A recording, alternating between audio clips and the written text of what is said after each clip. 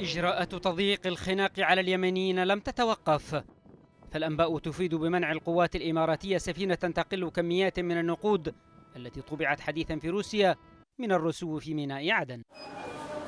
كميات النقود بحسب مصادر في البنك تبلغ 180 مليار ريال أي ما يعادل 473 مليون دولار مخصصة لمواجهة المرتبات والنفقة التشغيلية للحكومة. هذا الإجراء يأتي بعد أقل من شهر على تعيين محافظ جديد للبنك المركزي. لم يتسلم مهامه حتى الآن وسط هذا الكم الهائل من الصعوبات التي يتورط في جزء كبير منها تحالف يدعي أنه جاء لمساعدة الحكومة الشرعية على استعادة سلطاتها ولدحر الانقلابيين. الإجراء الأخير ترافق مع اتهامات متبادلة دشنتها الإمارات بتسريبات أفادت من خلالها بأن سبب منع السفينة من الرسوف من عدن يعود لوجود أربع حاويات بدون ترخيص تحمل مطبوعات نقدية من روسيا.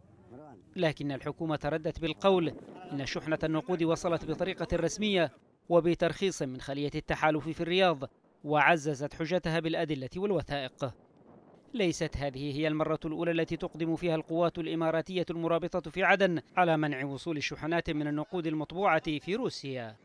فقد سبق وأن تم منع 13 رحلة طيران محملة بالنقود وإلغاء التصاريح الخاصة بها من قبل خلية التحالف لأسباب مجهولة ودون مبرر أو تفسير واضح. وفقا لبيان صادر عن المحافظ السابق للبنك المركزي اليمني منصر القعيطي يعود إلى إبريل من العام الماضي.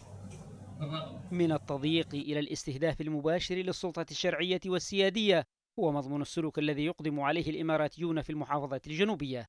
فقد شهدت محافظة أرخبيل سقطرى عمليات فصل وتوقيف موظفين وحكوميين في شركة الكهرباء وفي مستشفيات المحافظة في إطار عملية تجريف للكوادر بدوافع أيديولوجية.